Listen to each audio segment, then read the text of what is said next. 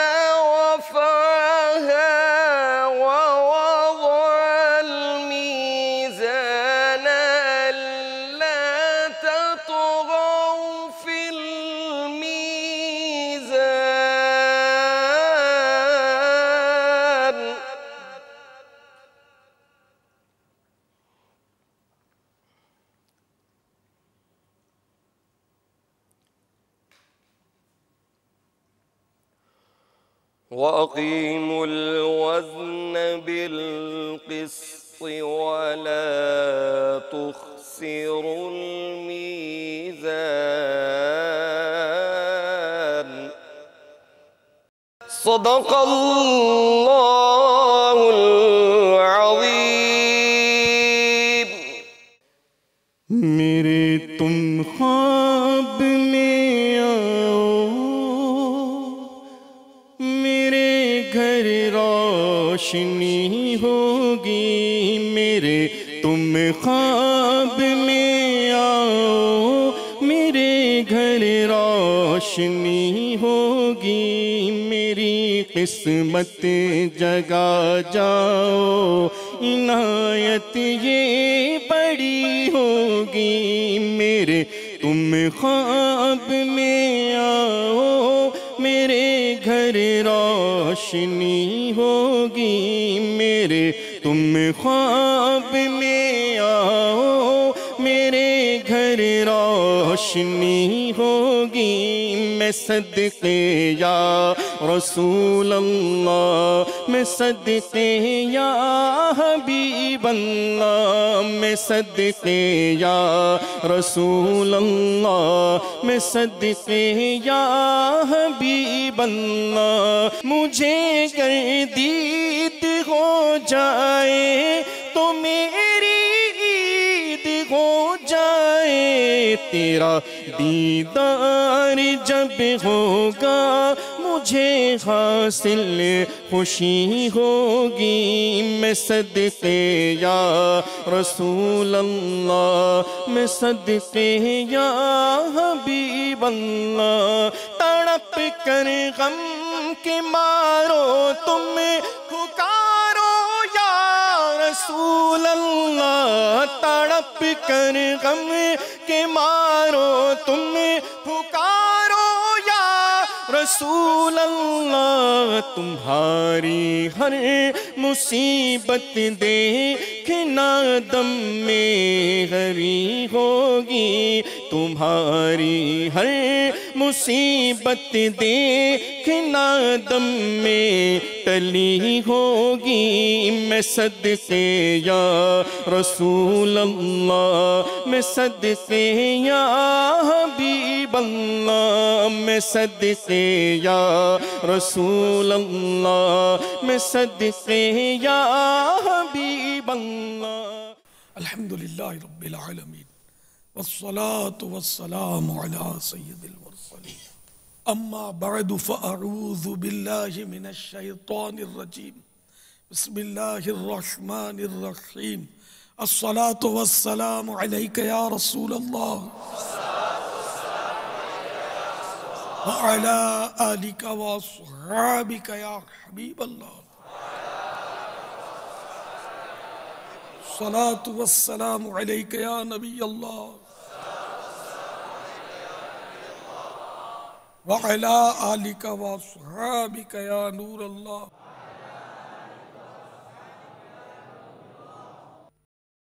फरमान मुस्तफ़ा सल्लल्लाहु तआला अलैहि वसल्लम तुम जहाँ भी हो, मुझ पर दुरूद पढ़ो कि तुम्हारा दुरूद मुझ तक पहुँचता है। सल्लु अलल हबीब। मोहम्मद। न की हो तो अच्छी अच्छी नीयतें कर लीजिए। और बढ़ाते रहिए नीयतें जो जो याद आए ना। मसलन ये कि इल्म दीन के हसूल के लिए अव्वल ताखिर मदनी मुजाकरे में शरीक रहूँगा।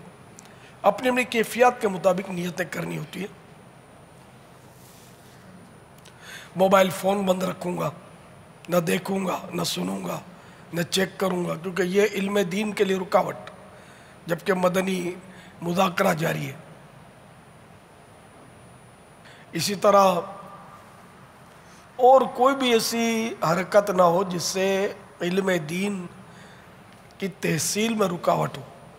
अच्छा शाम को एक ईसाई भाई खजूरें बांट रहे थे जब हमारे मुफ्ती साहब मसाइल बयान कर रहे थे। तो मैंने जो कहा, वो तो दुरुस्त था कि ये गुनाह का काम हो रहा था उस वक्त। क्योंकि इल्म दीन में रुकावट हो रही थी सीधी सीधी अब वो बेचारा कोई गौर से सुन भी रहा है तो उसका कंधा हिला के वो खजूर पेश की जा रही थी।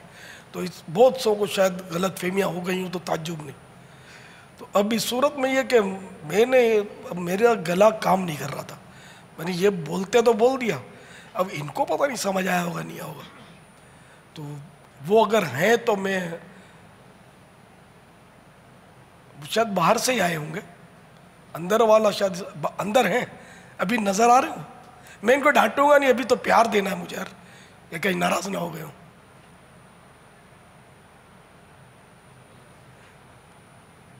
बीमार हो गए?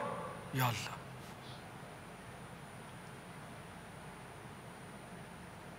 ऐसे कैसे बीमार? हॉस्पिटल में? क्लिनिक? या होस्पाक अल्लाह पाक शिफाता फरमाए। मेरा इन तक सलाम और प्याम पहुँचा देना कि जो कहा था वो तो दुरुस्त था, लेकिन समझाना चाहिए मुझे उनको मज़ीद। तो जब भी आला हज़रत का तो खैर बहुत सख्त फतवा इसमें। एक सवाल के जवाब में कुछ इस तरह आला हज़रत ने फरमाया, जो मजलिस वाज, अब वो मजलिस वाज तो जो दीनी मसाइल बताए जा रहे हैं, वो तो मजलिस वाज से भी ज़्यादा मैं समझता हूँ कि उसकी अहमियत है। वाज मैंने नसीहत। नसीहतें करना। ये भी यकीन आला दर्जे का काम है, लेकिन दीनी मसाइल बताना, ये और बारीक मामला है इसका।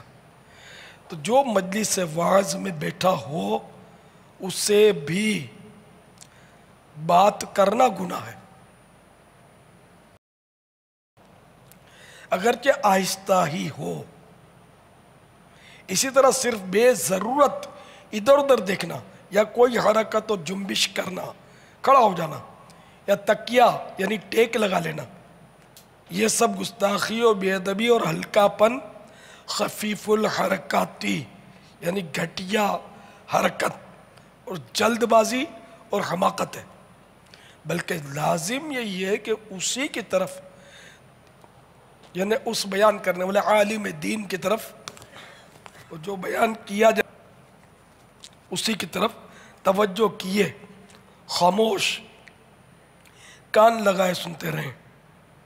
यहाँ तक कि उसका कलाम ख़त्म हो। उस वक्त तक ना इधर उधर देखें, न कोई जुम्बिश, न असलन कुछ बात करें। ये तरीक़ मुहम्मदिया से अलाजत ने नकल किया है।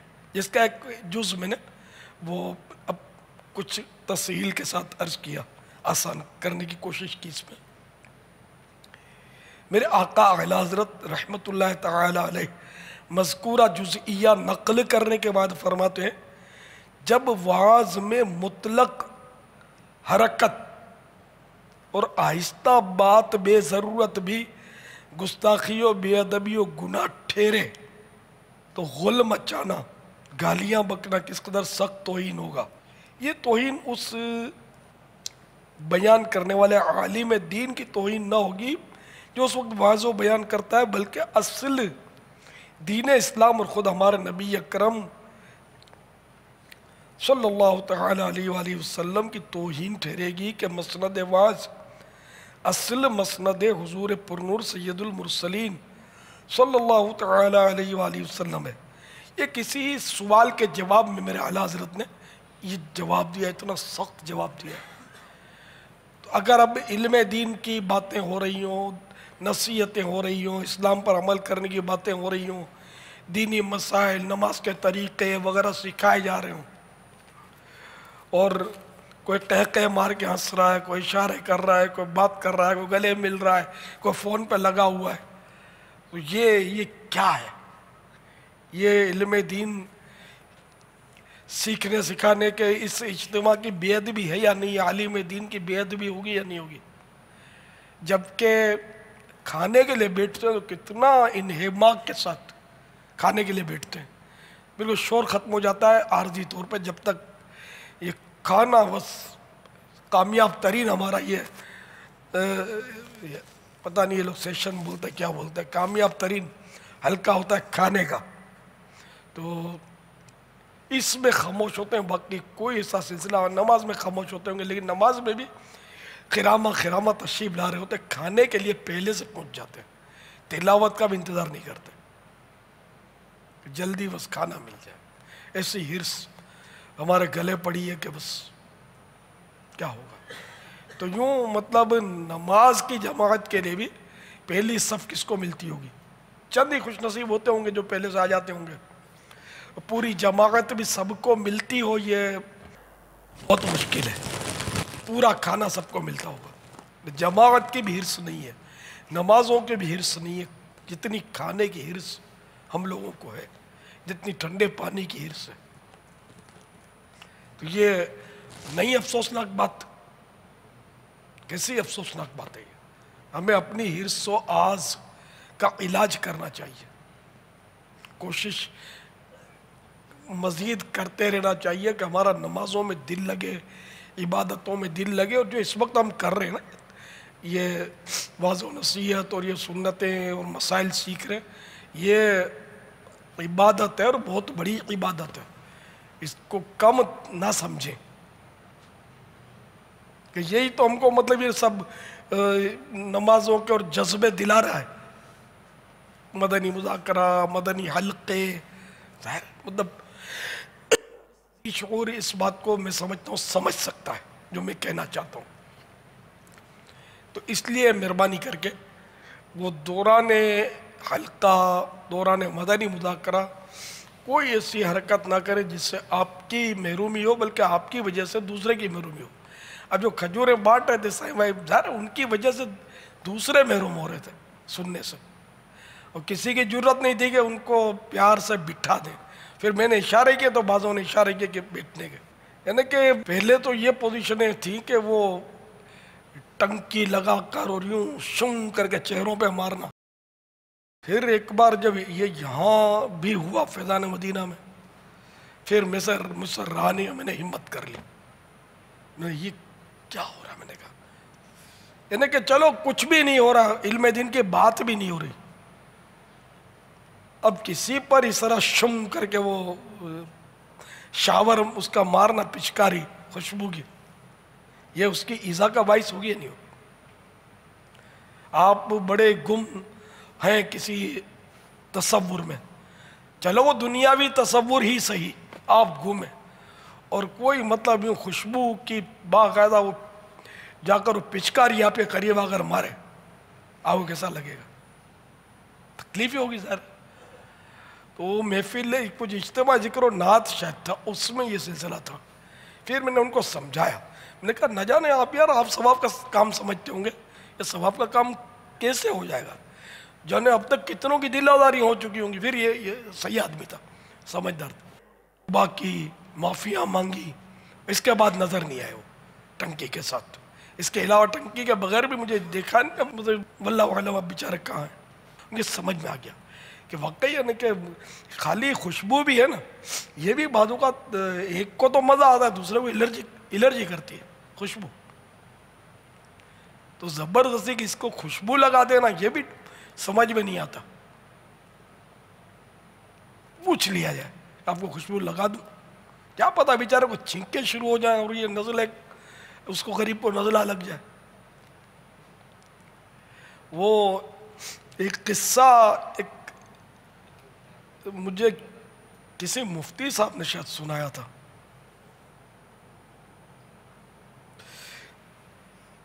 अब वो नाम यकीनी याद नहीं आ रहा, इसलिए उनका नाम नहीं ले रहा मैं।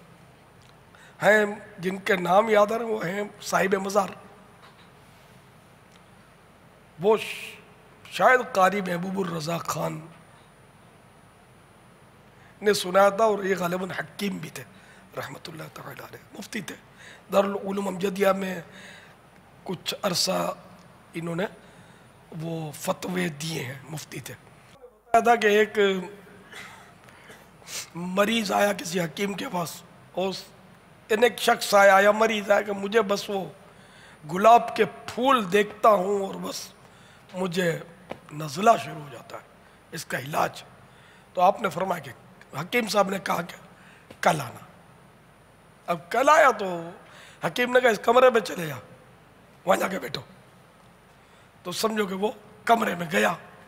अब जैसे कमरे में दाखिल हुआ, उसको आग छी आग छी छींके शुरू हो गई क्योंकि गुलाब के फूलों का ढेर वहाँ मौजूद तो हकीम साहब ने वो पकड़ के गुलाब के फूल उस पर डाला हकीम साहब, मैं मर जाऊँगा मर जाऊँगा। भाई पकड़ो तो सही। उसने पकड़े तो गुलाब के फूल नहीं थे, बल्कि कागज़ के फूल थे। गुलाबी रंग के। फिर हकीम साहब ने उनकी जहन देखी कि देखो तुमने दिमाग पे बिठा लिया है कि मुझे गुलाब के फूल माफिक नहीं है। तो तुम्हें वो खाम अगर नफसियाती असर की वजह से नजला हुआ है। ये एक मतलब हिकायत। तो अब यूँ मतलब मेरा मकसूद समझाना था कि अगर किसी को गुलाब के फूल की वजह से एलर्जी है अब हम उसको गुलाब के फूलों हार डालें, बेचारे को क्या गुजरती कि मना भी ना कर सके। अब परेशान हो जाए। इसी तरह उसको खुशबू, वो ये इत्र लगाना, ये ना चलता हो तो क्या करे? गुलाब का पानी छिड़कने का रवाज बहुत है। ये शायद इस्लामी बहनों में हो सकता है ज़्यादा हो। यूँ छिड़कती हैं। बाकायदा गुलाब दान ये आते हैं, क्या बोलते हैं इसको अल्लाह जने सुराई नुमा आते हैं लंबे घरों में पापा घरों में होते हैं। वो शो पीस के लिए घरों में होते हैं जिनके घरों में मजलिस होती है ना। ये उस इन्हीं का कह रहा हूँ ये घरों में जिनके मजलिस है नहीं इस्लामी बहनों की। जी। अपने इस्लामी बहनें कहते हैं अपने माहौल के इज्तम में नहीं होता होगा।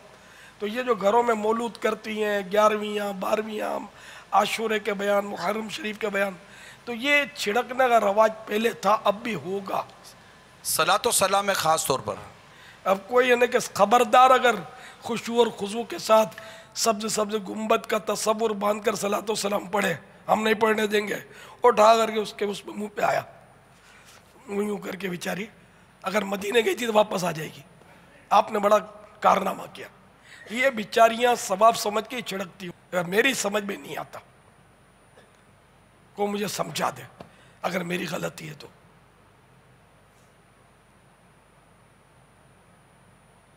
किसी को अगरबत्ती मुआफिक नहीं आती। तो अब अगर पता है कि यार इसको अगरबत्ती से तकलीफ़ हो रही है और ये कहीं हट भी नहीं सकेगा ये बेचारा अब यहीं पड़ा रहेगा। अब वो खामा का उसको अगरबत्ती की धुनी देना ज़रूरी है।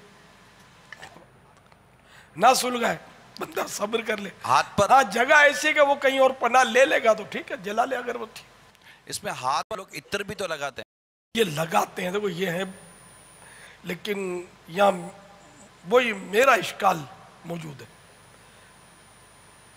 कि अगर इसको मुआफिक नहीं होगा तो तो इसलिए समझ में ये आता है कि अब यार वैसे ही मतलब हर वक्त तो बोलते रहते हैं, ये बोलना कार्य सवाब है है ना?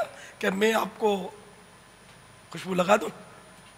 हाँ बोलेगा तो ठीक है, लगा दे, अगर यूँ कर ले तो समझ जाए। इसमें यानी कि मोहतात तरीका मुझे ये लगता है। अब ये देखो, किताबों में नहीं लिखा हुआ। ये मेरी अक्ल की पैदावार है। लेकिन अगर कोई मुझे मुतमिन कर देगा तो ठीक है। मैं मुतमिन हो जाऊँगा तो नाक में शीशी चढ़ा दूँगा मुफ्ती साहब के इत्र की। फिर ये जो बोलेंगे, जवाब देंगे अपने, उसको फतवा समझेंगे। तो ज़बरदस्ती किसी को बेचारा को पसंद नहीं है। बाहर शरीयत में तो यहाँ तक लिखा हुआ है, कोई खा रहा है। उसकी प्लेट में खाना मत डालो। हालाँकि जो खाना खा रहा है वही भी हम अपनी मर्ज़ी से ना डालें। ये मना है कि यार ये मुरवत में ज़्यादा खा लेगा। या इसको अभी खाना खाया, अब इसको रोटी खानी होगी। डिशें भी तो मुख्तलिफ़ होती है ना, फुला डिश खानी होगी। हमने या अपनी मर्ज़ी की जो भी थी गिजा, उसकी प्लेट में डाल दी तो उसको तो बेचारे को कुछ ना कोई तो परेशानी होगी। हालाँकि इतनी नहीं होगी परेशानी। ना ये कोई छींकना शुरू कर देगा। लेकिन इत्र अगर उसको मुआफिक नहीं है, अब वो गरीब करेगा क्या? भाग भी नहीं सकता सलात सलाम के बाद, सलात सलाम के दौरान। तो ये मैंने मोहतात एक तरीका अर्ज़ किया है। बाकी खुशबू सुलगाना, इत्र लगाना, ये बहुत अच्छी अच्छा काम है। सरकार सल्लल्लाहु अलैहि वसल्लम खुशबू लगाते थे तो ये सुन्नत की नीयत से हम अगर खुशबू लगाएँगे तो सवाब मिलेगा। तो आप लगाएँ, खुशबू से नहाएँ आपको किसने मना किया? जिसको माफिक नहीं, उसको बचाएँ।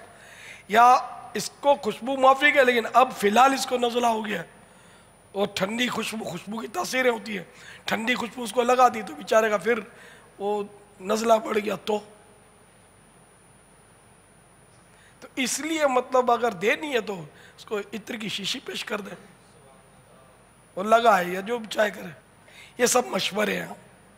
शीशी कौन देगा? अल्लाह अगलम व रसूल अगलम। अज्जा व जल्ल अब आजकल तो हजर असवद पर इतनी खुशबू लगाते हैं कि एहराम वाला हजर असवद चूमने की सुन्नत अदा नहीं कर सकता। इस पर पाबंदी। वो लगाएगा तो खुशबू लगेगी उसको। अब अगर इसको ज़्यादा खुशबू लग गई तो लोग कहेंगे, ज़्यादा लगे तो दम वाजिब हो जाएगा एहराम वाले पर। अगर किरान का एहराम है तो दो दम हो जाएँगे ना। अब दम बोलो तो दम निकलता है खर्चा होता है उसमें। बकरा पूरा जमा करना पड़ेगा और एक बुट्टी भी उसमें से खुद नहीं खा सकेगा, ना गनी को दे सकेगा, वो तो फकीर का हक है। मिस्कीन को देगा, देना होगा। तो और अगर लोग कहें कि कम है तो फिर सदका वाजिब हो सदका फित्र। की मकदार। कम भी देना है तो वो फिर हरम में देना होगा। सदका दुनिया में जहाँ भी दे दे सकता है, हरम में अफजल। तो अब इतनी खुशबू लगाते हैं कि वो एहराम वाले को नहीं चूमना चाहिए, हजर असवद, क्योंकि अब लगाते हैं खुशबू तो एहतियात करनी चाहिए। अगर ना लगी हो तो चूमना सुन्नत है। लेकिन अब चूँकि पता नहीं चलता, अब लगाएँगे और फिर वो मसला हो गया। तो इसलिए मशवरा है कि इस्तिलाम इसकी दूसरी सूरत तो मौजूद है कि इशारे से चूम ले उसको। पापा ये कन्फर्म बात है कि वाकई उस पर खुशबू लगी होती है। बहुत लगाते हैं इत्र असल में अब तो जो कंडीशन यानी मैं तीन तीन दफ़ा अल्हम्दुलिल्लाह हाज़िरी हुई तो कई दफ़ा कोशिश तो की करीब जाने की मौका मिलता ही नहीं है हजर असवद को बोसा देने का। नहीं जो सूरत होती है तो आप जानते हैं तो वहाँ तो ऐसी वो मारा मारी कर रहे होते हैं अब इसमें वो किस तरह खुशबू लगाते हैं? हर वक्त रश नहीं होता। ये जो खुशबू लगाने के शायकीन होंगे ना उनको ये अंदाज़ा होता होगा कि किस वक्त रश नहीं होगा किस वक्त होगा।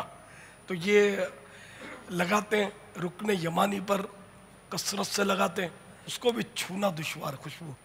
आप बगैर एहराम के कभी मौका मिले ना हाजिर असवद को छू कर आप फरमा दे मौका मिल चूम लें। यमानी, रुकने यमानी को चूम ले। तो बगैर एहराम के तो हरज नहीं है, खुशबू लग गई तो। है मतलब मसाइल। तो लोगों को तो इससे पता नहीं होता। यानी कि सुनहरी जालियों पर भी खुद ये तजर्बे की बात कर रहा हूँ। ये खुदा जाने कौन सा ये कार्य सवाब समझते हैं, समझ में नहीं आता।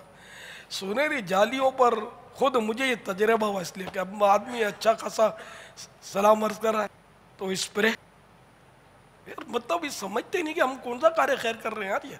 ये सवाब का काम है क्या? ये कोई यकसुई के साथ आका के दरबार में सलाम अर्ज़ कर रहा है उसको स्प्रे से खुशबू एकदम तरकीब कर लेना। तो ऐसा लगता है बाबा, इस काम की हौसला अफजाई करने वाले भी शायद होते हैं। यानी यूँ के बस यार वो हँसते। सादत एक शख्स आया यार बस क्या बताऊँ उस टाइम पर ऐसे मुँह पे फुहार आई है गर्म हो गया बस मुझ पे गर्म हो गया। वो फुहार को कुछ ले लेगा ना? वो आँखें बंद होंगी तो इसको गैब भी समझेगा। हाँ तो ये यूँ हुआ न खुशबू ऐसी बेकी न मुँह पर यूँ छिड़का हो ज़िंदगी गया में नहीं सुनी हाँ बस ऐसा तो अब तो मुझ पर करम हो गया। अब जो आप सो आपके जो इस वक्त जिस सोच जिस समत जा रही है तो अब अपनी अपनी वो तो इनकी हौसला अफजाई करने वाले इतने होते होंगे शायद कि इनको या हमारे या शायद मदनी पुल ना इनकी समझ में आए। और जिसको नजला लग गया होगा, वो किसी को बताएगा नहीं कि मुझे मुझे तो वहाँ ये हुआ। तो लोग उसको बोलेंगे उल्टा सीधा समझे तो खैर है मतलब मसाइल तो हैं, हर जगह मसाइल यहाँ तक के वो यहाँ अपने जुलूस मिलाद में बुरादा होता है। अफशां। चमकदार पाउडर जो छिड़का जाता है मुख्तलिफ़ चीज़ों में। यूं- उड़ाते देखा। ऐसी आजमाइश होती थी जुलूस में। ये पता नहीं यार इनको कोई कैसे समझाए। ये वो क्वालिटी होती है, ये कभी ना हमारे बयान सुनेंगे, ना इन्होंने मसाइल सुनने, ना उलमा और मुफ्तियों से इनका कोई रबते होते होंगे, जो इनसे पूछेंगे, इसमें कोई है सवाब?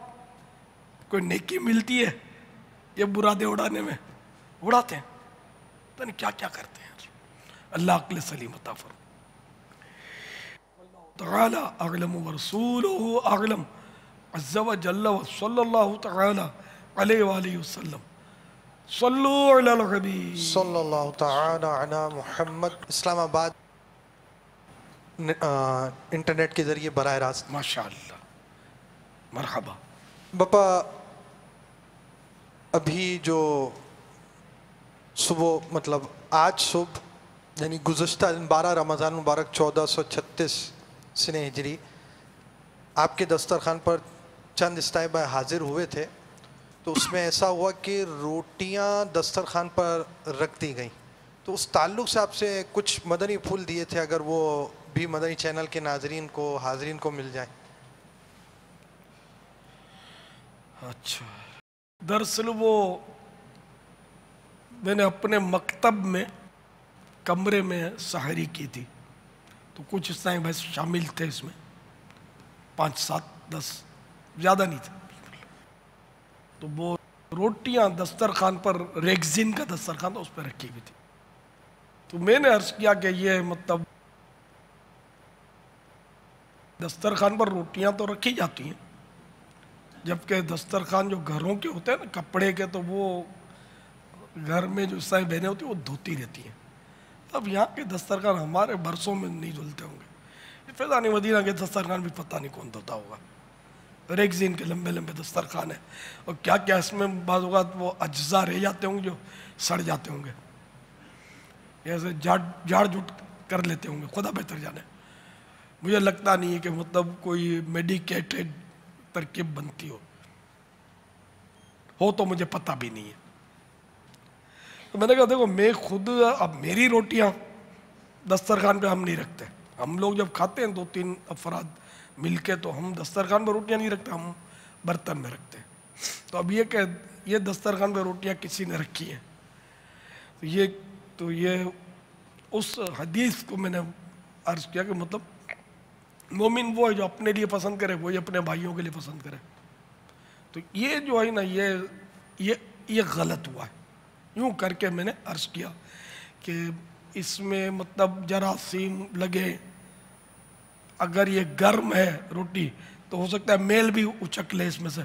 वरना जरासीम तो कहीं नहीं गए। जरासीम तो होने क्योंकि धुलते नहीं है, पता है मुझे, नहीं धुलते। कभी कभार इसकी किस्मत खुल जाए और इसको गसल नसीब हो जाए दस्तरखान को। ना आम तौर पर नहीं धुलता है। कपड़ा यूँ मार देते हैं। ये भी कपड़ा भी कभी रह जाता हो। ये मैंने अर्ज़ किया था तो ये दस्तरखान पर रोटियों, रोटियाँ रखने में हरज नहीं है जबकि दस्तरखान साफ़ सुथरे धुले हुए हो। वरना फिर बर्तन उमूमन धुले हुए होते हैं। दस्तरखान के मुकाबले में बर्तन को गुस्ल की सादत ज़्यादा मिलती है। तो फिर अब बीमारियाँ तो हैं ना अपने पास। जरासीम एक से एक मतलब हमारे गिज़ाओं के साथ या वैसे ही पेट में जा ही रहे तो ये भी एक ज़रिया है, दस्तरखान भी। जरासीम सप्लाई करता है हमारे आगज़ा को। इस तरह की कुछ मैंने चंद मदनी फूल पेश किए थे। अगर फटाफट वो आ गए बर्तन प्लेटें रोटियाँ जिसमें रख दी गई। लेकिन जो होना था हो गया वो जरा सिम तो देर क्या लगती है। अंदर आई गए होंगे रोटियों में। मेरी तवज्जो चली गई। बापा आपने फिर दूसरी जानब का पंखा भी खुलवा दिया था उस पर भी कुछ मदनी फूल दिए थे। हाँ एक पंखा खुला हुआ था मेरी तरफ़। और दूसरी तरफ़ वो तो रह गया था तवज्जो नहीं थी इस्लामी भाइयों की शायद। तो मैंने कहा यार मुझे गर्मी होती है ये बेचारे इनको नहीं होती होगी गर्मी इनको भी ज़रूरत होगी। खैर मैंने क्या अल्फाज कहे वो ज़रूरी नहीं है कि मतलब वही अल्फाज कहे हूँ। तो खैर वो दूसरा पंखा भी हमने खोल लिया ज़रूरत थी। आजकल है गर्मियाँ। पापा आपने तो जिस तरह हम अपनी राहत का ख्याल रखते हैं हमको दूसरों की राहत का एहसास नहीं होता ये आम है मतलब। अब जैसे कि कई ईसाई भाई होंगे जिन्हों, जिनकी बिल्कुल तरकीब होगी कि वो जल्दी आकर पंखे के आए नीचे तशरीफ़ फरमा रहते होंगे, मजाले को इधर आके बैठ जाए। हाँ तो वो फिर उसमें भी चलो बैठ गया, ठीक है, मर्ज़ी इसकी अच्छी बात है, बैठ जाता है तो जल्दी जल्दी आकर मदनी मुजाकरे में। लेकिन अगर कोई और बैठ गया, अब इसका फिर अगर टेम्परेचर आगे पीछे हुआ तो ये दिल आजारी की सूरत बन सकती है। या कोई आया तो ये फैल के बैठ गया, या कोई मेरे करीब ना आने पाए, ये भी अच्छी बात तो नहीं है ना? चंद मरतबा का मुझे याद है कि जहाँ ऊपर नमाज़ बा जमात अदा होती है तो हुआ ये कि नमाज़ जैसे कि फ़र्ज़ ख़त्म हुआ, तब सुन्नतें वगैरह पढ़नी है तो पंखा ऊपर एक ही है ना, जहाँ हम नमाज़ पढ़ते हैं। तो चंद मरतबा मुझे याद है कि पापा अपनी जगह से हटे और मुझे भी उस जगह पर खड़े होने का मतलब वो जगह बना दी कि जहाँ पंखे की हवा उसके मुकाबले में ज़्यादा आए। और इस पर भी ये कि अब जैसे कि मुझे कहा कि तुम इशारा, वो एक तरकीब हो गई कि भाई यहाँ पर मैं इशारा कर रहा हूँ, थोड़ा सा ज़ोर लगा रहा हूँ कि आप आ जाओ, आप आ जाओ। लेकिन वो जहन बन गया है कि नहीं ये पंखे की हवा के नीचे फ़लाँ को मैं जगह देना चाहता हूँ। तो ये एक अदा मैंने खुद ज़ाती तौर पर भी देखी है कि इस तरह अपने लिए, अपनी जगह पर किसी और को जगह दे देना ताकि उसको राहत हो। ये मैंने इस नीयत के साथ बयान किया है कि जैसे अमील सुन्नत नबी मदनी फूल बयान फरमाए ना कि ऐसा तो अमील सुन्नत को ऐसा करते हमने देखा है कि इस तरह मतलब कि जगह किसी और के लिए इशार कर देना कहें या इसको जो भी कहें तो ये एक ऐसा काम है कि जो हम सबको कुछ सिखाता है कि हम दूसरों के लिए राहत का इंतज़ाम करें।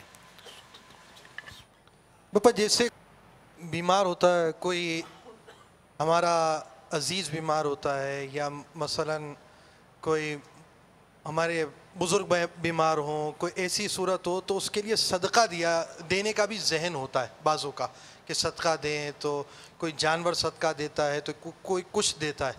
तो अब ऐसे मौके पर सदका देना कैसा और फिर उस सदक़े के लिए एक तरकीब ये होती है कि हाथ फिरवाया जाता है।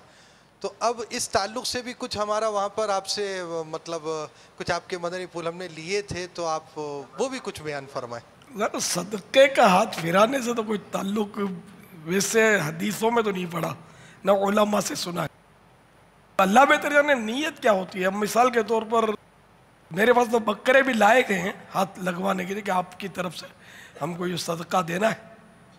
तो अब जैसे मैंने हाथ लगा दिया। अब खुदा बेहतर जाने इनकी नीयत क्या होती होगी? कि वो एक वसवसा आता है ना कि सबको पता चले कि भाई वो चलो, वो फुला इलाके से वो बकरा जा रहा है, इलियास के पास तो वो बकरा है कि और दस उसको हाँकने वाले हैं। ये सदका इलियास को नजला हो गया इसका सदका दिया जाएगा। अब इलियास हाथ लगाएगा और इनसे हाथ मिलाएगा और डंका बजेगा वो सदका दिया बकरे का अगर ये नीयत है कि पता चले लोगों को तो फिर तो खतरा बढ़ गया ना। कि अगर नवजुबिल्ला वो मकसूद ये कि लोगों में वाह वाह हो, तारीफ़ हो, दिल में इज़्ज़त बढ़े तो ये तो रिया की सूरत बनी, रियाकारी हुई अच्छा नहीं यहाँ तक देखा है कि मुझे आपकी तरफ़ से सदका देना है। जरा इस रकम को हाथ लगा दो। हाँ ये भी हुआ है। इन्हें होता है ऐसा।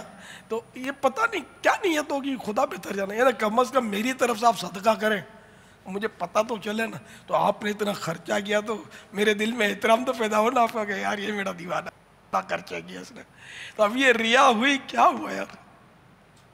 अब ये जो काम अल्लाह के लिए करना है तो बंदा काय को घुसे यार बीच में? बंदा क्यों शरीक हो?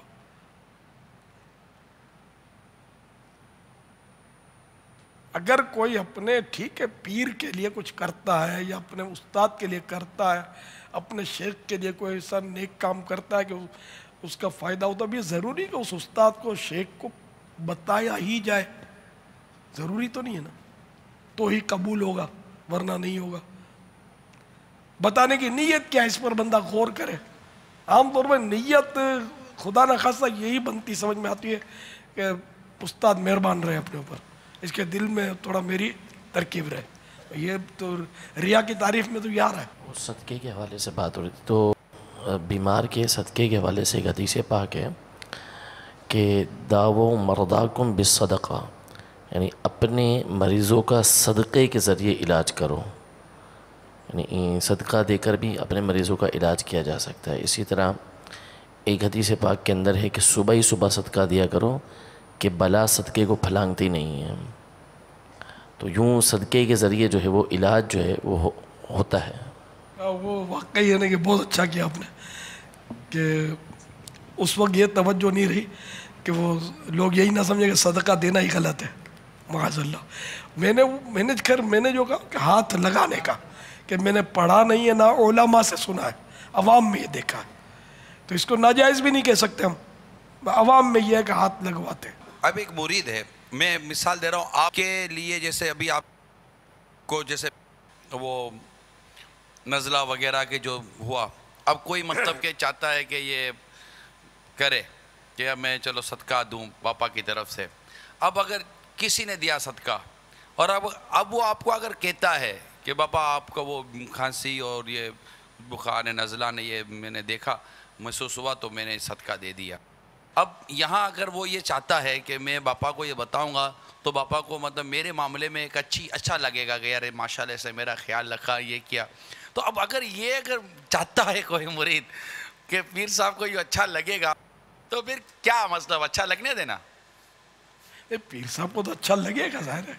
अरे इसमें इसकी रियाकारी कहाँ? मतलब ये कैसे रियाकारी दिल में मकाम बनाना इज़्ज़त बनाना। किसी इबादत से किसी के दिल में अपना मकाम बनाना मकसूद हो या उससे दुनिया का माल हासिल करना मकसूद हो। ये है मतलब रिया की तारीफ़। तो मकाम बनाने के लिए पीर साहब के पैसे फेंकना ही है। एक कोई और कोई तरीका नहीं है पीर साहब के मकाम। मसलन। बेशुमार मैं मतलब मदनी काफिलों के जो मुसाफिर बनते हैं, वक्फ मदीना होते हैं और सही काम करते हैं, दावत इस्लामी का, ये मेरे दिल को चीर के देखो, उनके लिए मेरे पास क्या मकाम है। तो दावत इस्लामी वो चला रहे हैं। को मेरे आगे पीछे घूमने वाले को दीवाने थोड़ी दावत इस्लामी चला रहे हैं। मैं सही बोलता हूँ। बापा बापा बापा बापा करने वाले दावत इस्लामी नहीं चला रहे। जो दावत इस्लामी चलाने वाले हो रहे हैं काम कर रहे हैं। धूप में, सर्दियों में, बारिशों में, जलजलों में जा जा कर जो सुन्नतों के परचम लहरा रहे वो हैं असल। मेरे लाडले। भले उनको मैं करीब वो नहीं आ पाते बेचारे वो एक अलग बात है, लेकिन उनका जो ज़ाहिर है एक अपना मकाम है वो दावत इस्लामी का काम कर रहे हैं।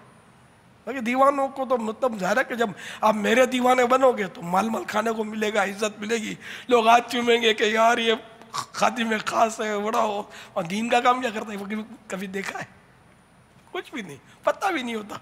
एक मैं जनरल बात कर रहा हूँ कि मेरे करीब जो भी अगर होगा तो वो दीन का काम भी आखिर कर रहा है कि नहीं? ये ये भी तो देखे ना बंदा। तो हमारी मतलब ये कि देखने की जो सलाहियत है ना, वो नहीं है सही। बाज होते करीब भी रहेंगे और दीन का काम भी करेंगे। ऐसा काम करेंगे, कोई नहीं कर सकता। ये भी हो सकता। है तो इसलिए दीन का काम सबको करना चाहिए, अपने दिल में मकाम, यानी कि ये एक, समझो कि असल दरवाज़ा ये है दाखिले का, कि वो दीन का काम करे दावत इस्लामी का मदनी काम करे, भले ज़िंदगी में एक बार भी मेरे सामने ना आए, लेकिन मेरे लिए, मेरे पास उसके लिए ढेरों दुआएँ। मेरे पास बिल्कुल नहीं है, उसको टाइम नहीं मिलता, ना है। बिल्कुल नहीं, अपने को ये टाइम सर्व करना भी नहीं है। दीन का काम हो। इखलास के साथ लिल्लाही के साथ। साहबा कराम मुरिदवान, एक लाख चौबीस हज़ार, चौदह हज़ार की भी रिवायत है शायद। हाँ तो बहरहाल ये कि एक लाख डबल बारह हज़ार या चौदह हज़ार या बारह हज़ार, वो हजत हजतुलवदा के मौके पर थे। लेकिन जन्नतुलबकी के लिए कहा जाता है कि सिर्फ़ दस हज़ार के आसपास हैं, ये बाकी कहाँ गए? दुनिया में फैले ना, दीन पहुँचा ना हम तक। तो सब अगर वो पीर साहब के आस्थाने का तवाफ करते रहेंगे, घूमते फिरते रहेंगे, आगे पीछे तो फिर दावत इस्लामी का मेरा काम कौन करेगा? मेरी दुकान तो दावत इस्लामी है। तो सारी दुनिया में फैल जाओ और मेरे आका की सुन्नतों की धुएँ मचा दो, मदनी काफिलों की बहारें हर तरफ़ फैला दो इन इन ताला उम्मीद है यहाँ से भी आपको बल्कि जहाँ जहाँ से सुन रहे हैं आपकी दुआएँ भी लेंगे। अल्लाह ताला की रज़ा की खातिर खूब खूब अपनी काफिलों में सफ़र करेंगे। करेंगे ना मीठे मीठे इस टाइम भाइयों? चाँद रात को एक भी महरूम ना रहे इसमें से। सब मदनी काफिलों में सफ़र कीजिए। इन बाया बाजू बिल्कुल कमज़ोर है। ऐसा नहीं करो यार। मुरवत में हाथ नहीं उठाने का। अगर काफिले में सफ़र की नीयत है चाँद रात को तो ही हाथ उठाना वरना फिर मुरवत में हाथ उठाएँगे अच्छा लगाने के लिए तो ये झूठ हो जाएगा गुना हो जाएगा। तो सारी दुनिया में हमको जब दाखिल होना है ना तो इसका ज़रिया मदनी काफिला है। मदनी काफिला होगा तो हम सफ़र कर कर कर करके फिर इन हर जगह पहुँच सकेंगे। वापस सरदाराबाद में भी इस्लामी भाई खड़े हैं और जो इतला दी गई है ये बारह रोज़ा कोर्स के लिए खड़े हुए हैं। माशा हम सबको मिलकर कोशिशें करनी है कि मुझे अपनी और सारी दुनिया के लोगों की इसलाह की कोशिश करनी है। पापा कश्मीर वाले हो रहे हैं। माशा मरहबा। मदनी चैनल अपने नाम से ज़ाहिर है इससे ज़्यादा तो खूबसूरत नाम हो ही नहीं सकता। और जितने पुरमन लोग आप हैं और जिस तरीके से आप लोग काम करते हैं, मैं समझता हूँ यही पैगाम है जो आम होना चाहिए।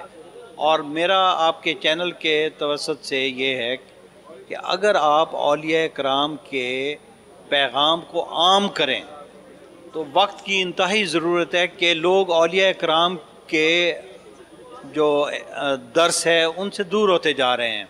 जिसमें रवादारी थी, जिसमें मोहब्बत थी, जिसमें प्यार था, रवादारी ख़त्म हो गई है, मोहब्बतें ख़त्म हो गई हैं प्यार ख़त्म हो गया है बल्कि सख्ती आ गई है। आप ऐसा दर्स यहाँ दें आप ये पैगाम दें कि लोग अलिया कराम के भूले हुए दरसों को याद This is Omer Abtari calling from California, USA, city of Anaheim.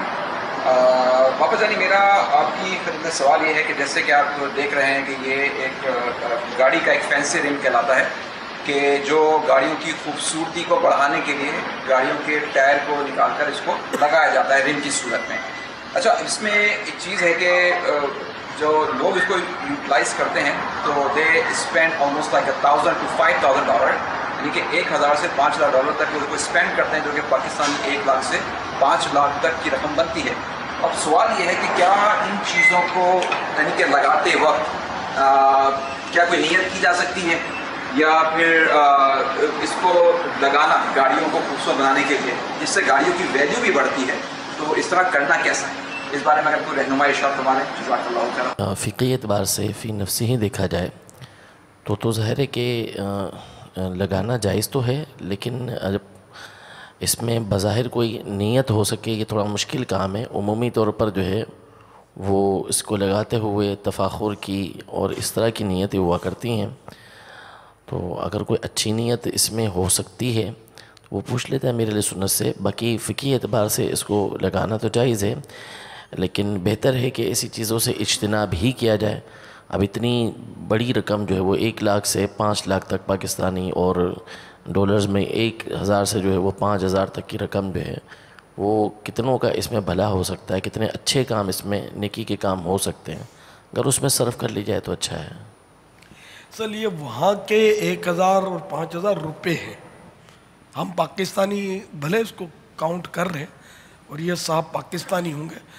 Indian तो ये और कम हो जाएँगे। इंडिया की करेंसी जैसे बड़ी है।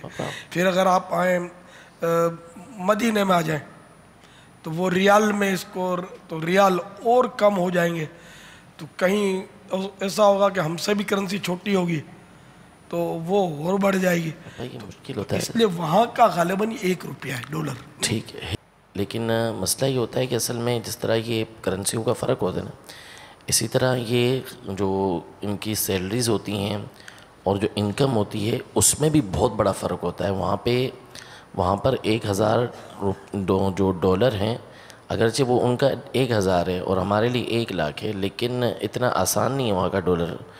यानी उनकी अशिया जो होती हैं, वो होती ही सस्ती हैं। और वैसे भी वो कमाई इतनी नहीं होती इन चीज़ों में, इन इन लोगों की इतनी। जैसे हमारी इतनी रकम ज़्यादा ज़्यादा होती है तो उनकी भी इतनी नहीं होती। बाज़ अवत वैल्यू वैसी ही बन जाती है। तो ये गरीब लोग थोड़ी लगाते होंगे। गरीबों के पास ये चमकीली गाड़ियाँ नहीं होती। अंडरस्टूड है जैसे यहाँ है, यहाँ डेकोरेशन पर क्या लाखों बल्कि करोड़ों पाकिस्तान में खर्च नहीं होते होंगे।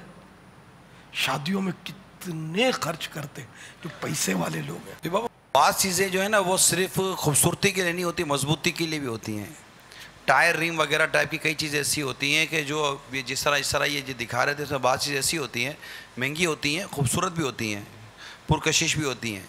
लेकिन उसके मुकाबले में इसकी मजबूती और टायर का जो टाइम पीरियड होता है, वो भी उससे बढ़ जाता है और ये चीज़ें आती हैं। लेकिन अगर बाबा एक इससे भी हटकर, एक शख्स अगर अपने जनरल शौक के लिए मिसाल के तौर पर अगर छोटी गाड़ी भी आती है महँगी वाली, अच्छी वाली, लेकिन आदमी बड़ी गाड़ी लेता है तो अगर एक शख्स अपने शौक के लिए कोई इस तरह के खर्च करता है तो? वही है कि अगर फ़ख्र तफाखुर के लिए दूसरों को जताने के लिए, समझे, नीचा दिखाने के लिए करे तो तो ये तो मजमूम है ही और अगर इसलिए करता है कि वहाँ का उर्फ़ ही ऐसा है जो नहीं करता उसको लोग बखील बोलते हैं, कंजूस बोलते हैं, बुरा भला बोलते हैं।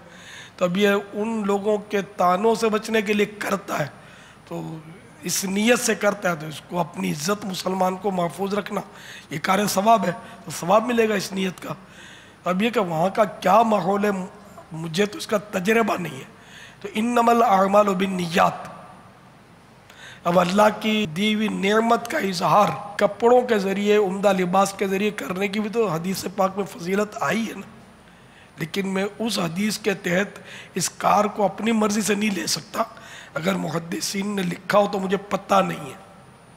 तो बाद सूरतों में अल्लाह ताला की नेमतों के इजहार के भी, यानी कि हैं मतलब चीज़ अब ये कि इसमें इन चीज़ों में हमारे लिए तो बड़े दलाइल हैं कि बाज़ लोग उठकर ये कह देते ना कि तुम लोग कुर्बानी करते हो और इतना जानवर ज़बा कर देते हो और इतना सबके पास गोश्त होता है और क्या होता है तो हम इनको बता के तुम अपने टायर तो दुरुस्त करो। इसमें किसका पेट भरता है? हम जो गोश्त करते हैं तो पेट में जाता है। अच्छा सबसे जो बेहतरीन जवाब है ना, इसका जो मुस्कित जवाब, कि कुर्बानी पर एतराज़ कि इतने जानवर क्यों काटते हो? ये मुसलमान कभी कर ही नहीं सकता। मुसलमान कैसे करेगा? उसको हम जवाब ये देंगे कि, भाई, ये कुर्बानी क्या हम लोगों ने वाजिब की है? क्या उलमा ने फ़र्ज़ की है या क्या मुफ्तियों ने मशवरा दिया है इस कुर्बानी का? ये तो अल्लाह और रसूल की तरफ़ से हुक्म आया है। तो जिस तरह हम पाबंद हैं, तुम भी पाबंद हो। तो ये नहीं ये ये ये जवाब है इसका। हाँ गैर मुस्लिम अगर एतराज़ करता है तो उसके भी जवाब दूसरे होंगे। तो मुसलमान तो इतराज कर नहीं सकता क्योंकि कुर्बानी का इनकार। फ़सल रबी का वन हर तो बहरहाल लेके उस, इसका कुर्बानी का इनकार जायज़ नहीं है, क्योंकि वो इसका हुक्म अल्लाह और रसूल ने हमें दिया है, उनके शराइत के साथ कुर्बानी वाजिब होती है। इसका इनकार नहीं हो सकता और मुसलमान इनकार कर कैसे सकता है? क्योंकि हज पर अरबों रुपए खर्च होते हैं तो महाजल्ला हज भी बंद होना चाहिए। तो जो तुम लोग अमेरिका और लंदन और जर्मन और जापान, सिर्फ़ ये देखे ऐसी बेशुमार ख़ानदान मिलेंगे कि जो सिर्फ़ सैर व तफरी के लिए छुट्टियों के दिनों में, ये जाते हैं, कोई जापान जाएगा, कोई जर्मन जाएगा, और जिनका मजहबी जहन होगा वो उम्र की तरकीब कर लेते हैं, चलो मदीने चलते तो ये जो करोड़ों रुपए इस तरह जो उम्र वाले को नहीं बोल रहा मैं, जो जापान और जर्मन खाली घूमने जाते हैं इनको को बोलने वाला नहीं है कि जो करोड़ों अरबों रुपए तुम इस तरह उड़ाते हो, खाली छुट्टी के दिनों में बच्चों की, स्कूल की छुट्टियाँ तो चलो यार ज़रा चक्कर लगाते हो। बदतरीन होटल में ठहरते हो, बेहतरीन तो बोल नहीं सकता, बेहतरीन तो मदीना है ठीक है ना? तो बदतरीन होटल में ठहरते हो, जहाँ शराबों के जाम लुंढाए जा रहे हैं, और बेपर्दगी और बेहयाई से भरपूर पार्कों में जा जाकर वहाँ अपने ईमानों को ख़तरे में डालते हो। इनको कोई नहीं बोलता, गरीबों को दे दो, मिस्किनों को दे दो, क्यों इतना खर्च करते हो? इतने पैसे, हम जहाँ जश्न विलादत करेंगे तो फ़ौरन बोलेंगे, इतना खर्चा गरीबों को दे दो, ग्यारहवीं शरीफ करेंगे तो ये खर्चा गरीबों को दे दो, हज करेंगे तो बोले, इतनी रकम ये गरीबों को दे दो। तो क्या मतलब? गरीबों की हमदर्दी सिर्फ़ मजहबी मामलात के लिए रह गई है, जो दुनिया के ऐशो तयुश पर तयुश ऐशो तयुश पर जितना पैसा बहाया जा रहा है, ये किसी को नज़र नहीं आता। शादियों के खर्चे देख लो, शरीयत ने क्या खर्चे रखे हैं? मेहर वाजिब है। मेहर के अलावा कौन सा खर्चा वाजिब है? कोई भी तो नहीं है खर्चा, मेहर के अलावा। और मेहर लड़के पर है, ना कि लड़की पर। लड़की को तो मिलेगा। लेकिन इस मेहर के खर्चे के अलावा कितने खर्चे शादियों पर लाद दिए हम लोगों ने कि जिसकी वजह से शादियाँ मुश्किल हो गई। हाँ वलीमा दूल्हे के लिए दो दिन के अंदर शब जिफाफ गुजार कर, दो दिन के अंदर अंदर बेशक सुन्नत है, इसको करना चाहिए। लेकिन इसके लिए क्या हॉल बुक कराना भी सुन्नत है? तब आपको कोई नहीं सोचता कि एक एक लाख रुपए के किराए पर दो घंटे के लिए तुम लोग हॉल लेते हो ये एक लाख रुपए गरीबों को दे दो। मुझे किराया पता नहीं हो। बाबा लाख रुपए बहुत कम बताया आपने जिसकी बड़ी दावत होती है। अभी तो अभी वो हॉल नहीं अब तो बनकिट कहलाते हैं और वो एसी वाले अब हॉल हैं। क्या होता है मनकिट बनकिट ना? बैंकुट बैंकुट बैंकुट कहलाते हैं। हाँ और ये एसी वाले होते हैं और ये मेरा ख्याल है कोई बहुत लाखों रुपए का किराया होता है। हाँ। चंद घंटों का। अच्छा मतलब जो बड़े लोग कोई गरीब ने तो कोई गरीब याद नहीं आता होगा। इतना करोड़ों रुपए खर्च करते हैं, फिर ठा करके तलाक भी हो जाती हो। ऐसे भी वाकयात होते हैं। क्योंकि अल्लाह की रहमत को उभारने वाले काम हमारे कहाँ हैं? हाय, क्या होगा? तो बहरहाल ये कि वो अमेरिका से चले, मदीने में घूमकर, फिर फैजान मदीना में आ गए। ज़िक्र मदीना तो हुआ ना। रियाल का तस्करा हुआ। मदीना बेहतरीन है, ये भी तस्करा हुआ। अलहमदिल्ला बहरहाल वो टायर का जो मसला था वो, अगर कोई उसमें शर्य तौर पर कबाहत ना हो, फ़ख्र तफाकर ना हो तो जायज़। और इस तरह के खर्चे अगर बिला ज़रूरत ना करें, बच्चे, इस रकम से कोई और अच्छा काम कर लें जो आपको नेकियाँ दिला दे, ये अच्छा है। अलबत्त आपने शादी और उसके खर्चे पर जो मदनी फूल अता फरमाए, इस इस पर एक हदीस और इसकी जो मुफ्ती अहमद यार खान नईमी ताला ने जो शरह बयान की है, वो एक अर्ज़ कर देता हूँ। फरमान मुस्तफ़ा सल्लल्लाहु अलैहि वाली वसल्लम के बड़ी बरकत वाला निकाह वो है जिसमें बोझ कम हो। अब इसकी शरह सुनिए, वज़ात, यानी जिसमें फ़रीक़ैन, यानी लड़की वाले, लड़के वाले, जिसमें फ़रीक़ैन का खर्च कम हो मेहर ज़्यादा ना हो जहेज़ भारी ना हो कोई जानिब मकरूज़ ना हो भारी शर्तें ना हो अल्लाह ताला पर तवक्कुल करके लड़की दी जाए वो निकाह बरकत वाला है ऐसी शादी खाना आबादी है।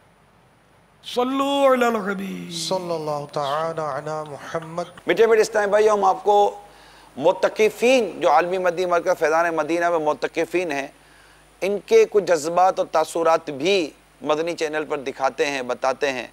आइए देखते हैं मोतकफ़ीन के तासुरात क्या हैं।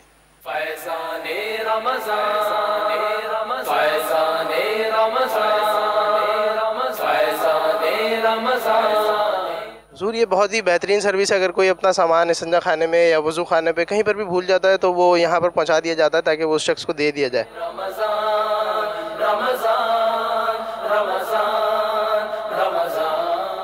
जो आशिकाना रसूल एहतिकाफ में बैठे हुए ना उनका सामान वज़ू खाने पर भूल जाते हैं या गिर जाता है तो वो यहाँ पर लोग ला जमा करा देते हैं। फिर हम उनकी निशानी वगैरह लेकर मालूम लेकर उनको वापस कर देते हैं।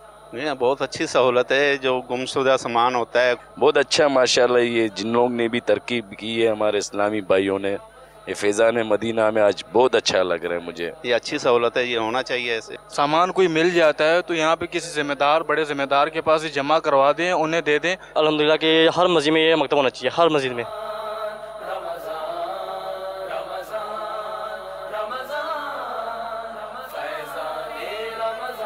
किसी का सामान खो जाता तो अपना लिखवा जाता कि मेरी फ़लाँ चीज़ फ़लाँ फ़लाँ जगह से खो गई। ये मेरा नंबर है। फिर इसी तरह जिसको मिलता है वो लाकर जमा करा देता है। तो हम उनसे रबते वगैरह की तरकीब बनाकर मालिक तक पहुँचा देते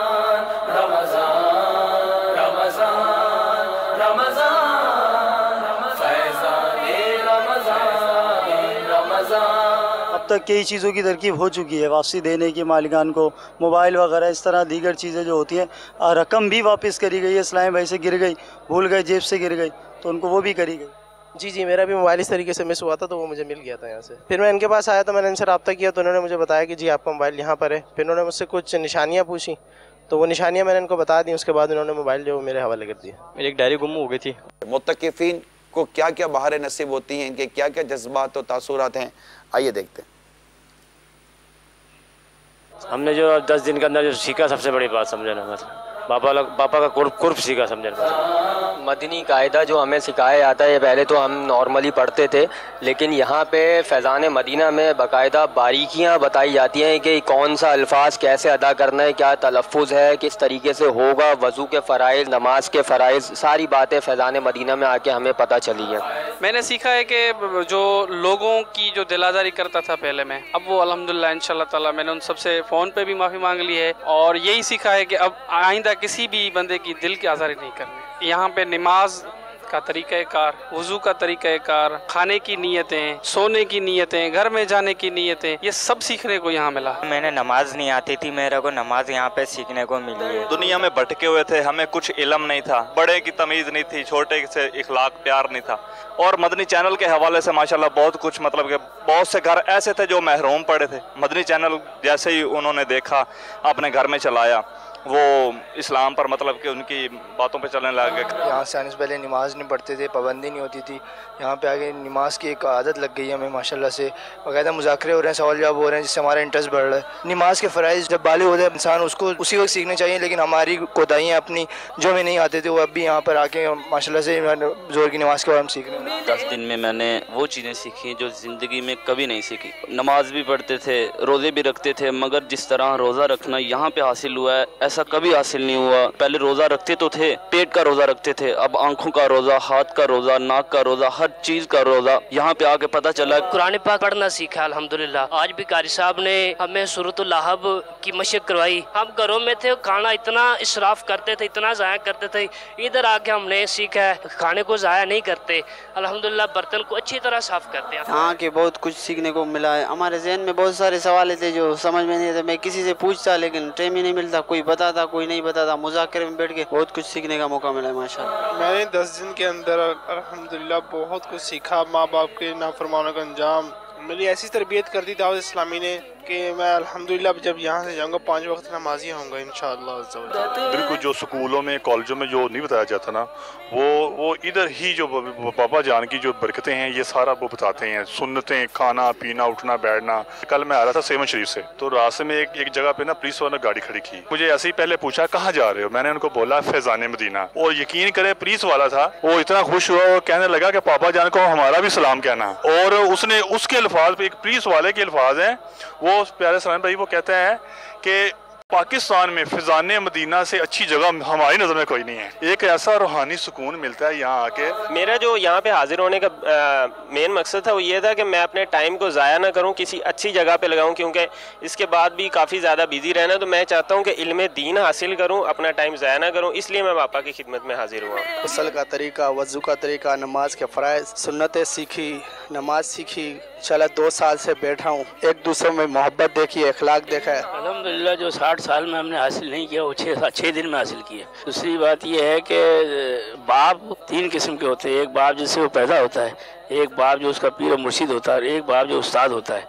मेरे ख्याल में इतनी तरबियत, इतने प्यार, मोहब्बत, इतनी शफकत जो सिखा रहे हैं तो मेरे ख्याल में हमारा जो हकीकी बाप है, वो भी हमें नहीं सिखा सकता इतना। जो हमें फैज़ान मदीना के अंदर जो मिल रहा है आप यकीन करें कि हमें बैठना सिखा दिया, हमें खाना सिखा दिया। भाई बर्थ मुसलमान है, हमने देखा, बाप दादा नमाज़ पढ़ रहे हैं। हम भी नमाज़ पढ़ने लगे। हमारी नमाजें सही कितनी हुई हैं? हमारी हम जो अभी तक रोज़े रखते रहे कि बस अजान हो रही है, खाते रहें जी, खाते रहें। एक उलूम है हर चीज़ का।